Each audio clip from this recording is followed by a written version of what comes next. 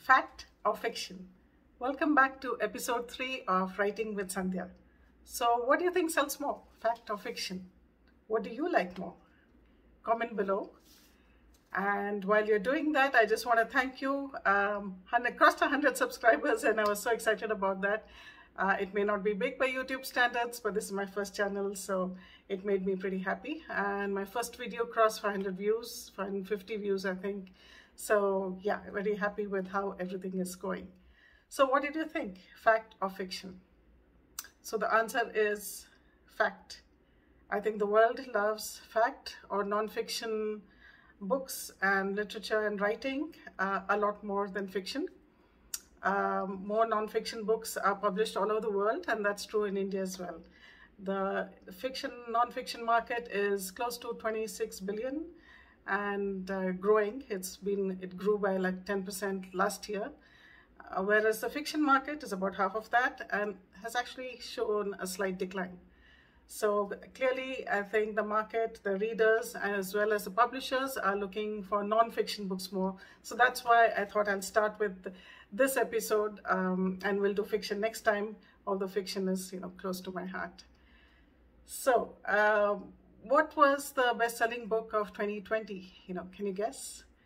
Uh, it was Barack Obama's memoir, A Promised Land. Uh, I think that sold over two and a half million copies. So I think that's uh, one of the genres of nonfiction, as we learned in episode two. And um, so what are the other top uh, selling nonfiction genres? As I already mentioned, there's this whole, uh, you know, memoir, biography kind of section. Then self-help, self-help is a big thing. And the pandemic, we're all turning to some kind of help for that. And, you know, business, academic kind of books. So these are kind of the top three genres for nonfiction books um, globally as well as in India. A lot more detail over there as well. So let's talk about that a little bit, right? So the top one, uh, so you might have heard the terms memoir, biography, autobiography. So what's the difference? I think autobiography, all of us know, are uh, you know, somebody telling one's own story, um, just like as I said, my father's did.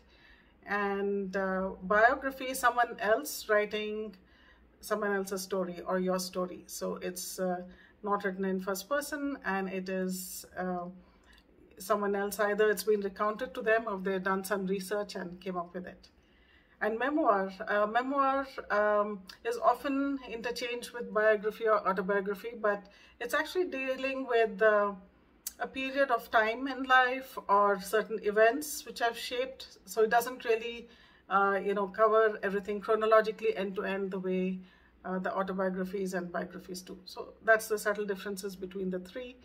And in India, celebrity writing does very well here, or you know, writing about celebrities. Um, and they also get made into biopics. So I think that's a huge market over here. Uh, Self-help, there's a whole amount to it. Um, of course, over here, we particularly are inclined to you know, spiritual and religious books. There's uh, on uh, philosophy, on health, fitness, uh, mental wellness. Uh, you know, that's a big thing these days, and psychological well-being. Uh, so just comment below what's your favorite self-help book there could be any, uh, so many, right? So I think uh, that's a huge market uh, anywhere in the world. On business and academic books, uh, in India, the big market is educational books. That's still the number one kind of selling. It's like a captive market, right? It's about a subject. And if someone has written about it and it's being taught in schools or colleges, that's what we mean by a captive market and uh, you have business and technical books. I already spoke about, you know, technical uh, writing, but there's also business writing and, uh, you know, management, leadership, those kind of books. Uh, also things dealing with a particular topic, you know, so there may be an expert talking about a particular topic. So that's another genre which is good. And um, so these, and I talked last time about all the genres. So here are a few of the subgenres. And, you know, in later episodes, I might just pick one and uh, go into it uh, in full uh, detail. Um, or we may even do a workshop on that. Um, so let me know which ones you're interested in and we can get into that a little bit more. So while we're talking about this here, so now we have, I hope like in your mind, if you're a writer, you're formulated all right, this is what I want to do. I want to write a book or, you know, start a blog. Um, this is the general, uh, this is the media in which I want it. I want it printed or online. We talked about that in the first episode. In the second episode, we talked about genres. So either you already have an idea and you know now which genre it fits into, or this might have given you some inspiration and ideas uh, for something to write about. Um, you know, for memoirs or fiction, just look around. It could be your own story, uh, whether you're a celebrity or not, you have something which you have done and to share with the world. How about somebody around you? Uh, I remember attending Vikram Seth's uh, book launch, no, not his Suitable Boy, but his uh, next, another book of his. And he actually wrote about his uncle and aunt, and he had uh, you know, found some notes about them, found it very fascinating and wrote a book about that. Uh, just go and do your research and, you know, find out which book it is. But, uh, you know, there's nothing preventing any of us to look for interesting stories. They're there, you know, all around us. Um, so it could just even be an interesting character you met. Um, and that could just, you know, form into a short story perhaps. So think about that. You know, if you just want to write and you're wondering what topic, I mean, this could be some things you could talk about. Another thing I wanted to cover in this uh, uh, vlog is uh, a, another way of categorizing, which if you know attend like a writing class or something, you often come across these terms. Um, and there may be some have three types, four types, five types, seven types of nonfiction. But let me talk about the four main types that typically come up, right? So that's expository, narrative, persuasive, and descriptive. So expository is when you're expounding on something, when you're doing a lot of uh, deep research and analysis. It could be about events, it could be about a trend, um, so, or some natural phenomena, and then you uh, write about it. So that's expository uh, nonfiction. That is helpful for someone who's uh, learning it, you know, for the first time. Narrative nonfiction, and that's like huge right now, um, you know, especially since the pandemic. I think uh, there has uh, the publishers have been looking for more of these kind of books and the readers have also been you know seeking out these kind of books. So as i also mentioned it's um, you know biographies and all of that that form as part of this category. It discusses facts. So it's uh, but in terms of a narrative or a story so and it uses the regular book structure of uh, chapters and uh, organizing work uh, like a regular book, unlike expository where it can be more like a thesis.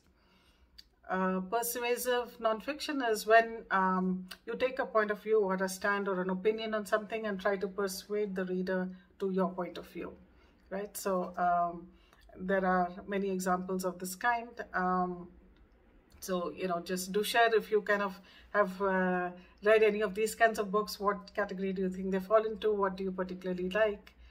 Um, so my friend Joyce had asked a question, what is the difference between, I think, discur discursive writing and, you know, uh, imaginative writing?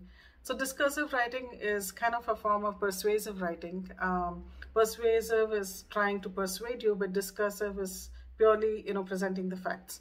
Like how you would do um, debates in school, uh, you know, just kind of pros and cons and present it to the to the people who are listening and uh, they have to take the final call. So that's discursive where you're just dealing with facts, which is the complete opposite of obviously imaginative and creative writing. So there you go. That's the difference, right? So in school, you may be called upon to write an essay, which is discursive, which is uh, more about deep diving into a subject and understanding uh, both sides of it.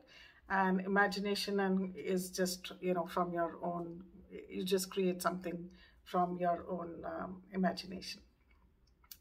So descriptive nonfiction is where you're describing things in a lot of detail. Uh, typical uh, one is of course travel books. And uh, so that's another that's another favorite genre of mine. But uh, it has a very niche kind of a segment uh, I did want to mention cookbooks. You know, last time too, I talked about two cookbooks uh, and everyone liking that.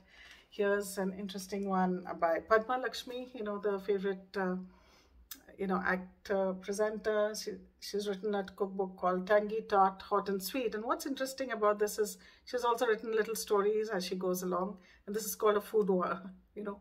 Uh, it's a memoir, but with food in it because it isn't particularly categorized any other way, but uh, it is. Um, and one of my favorite, uh, you know, publications, Lonely Planet, which is Lonely Planet, sorry, which unfortunately seems to be going out of print. Um, you know, Greece, one of my favorite holidays over here. But yeah, travel books, travel books are like these, where you do research and you write about it. So, um, and true, true life stories, and we have autobiographies, we have true crime. Um, my publisher, Sanjeev Mathur, has written Gunning for the Godman, and this is doing extremely well, a bestseller and it sort of deep dived, uh, found out all the facts about a particular sensational story and presented it to the public. Um, so that's also something you can look out for. Is there something which has happened? Um, is that something which you would like to, uh, you know, uh, learn more about and share with the public? So this time we've talked about nonfiction. Next time we'll talk about fiction. So see you again next uh, so next weekend. Don't forget to subscribe uh, you know, you see my little face in the corner. You can click there and you can hit subscribe or you can go down and hit subscribe. Like, comment, share if you like it. Share it with people whom you think it'll be interesting to. Um, could be students or anybody who wants to write. Thank you and see you next time.